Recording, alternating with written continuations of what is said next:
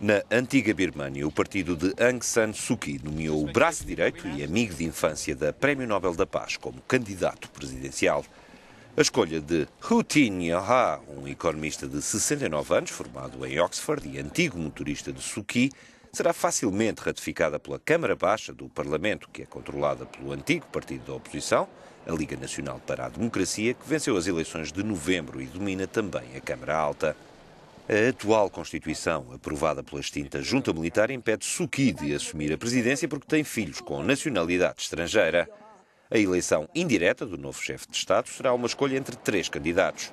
Na prática, no quadro político atual, dois são nomeados pelo partido de Suki e um pelo Exército. Como a Liga Nacional para a Democracia dispõe de uma larga maioria, a eleição do amigo da Prémio Nobel está garantida num escrutínio que deverá ter lugar na próxima segunda-feira, numa reunião magna das duas câmaras. Os outros dois candidatos serão vice-presidentes.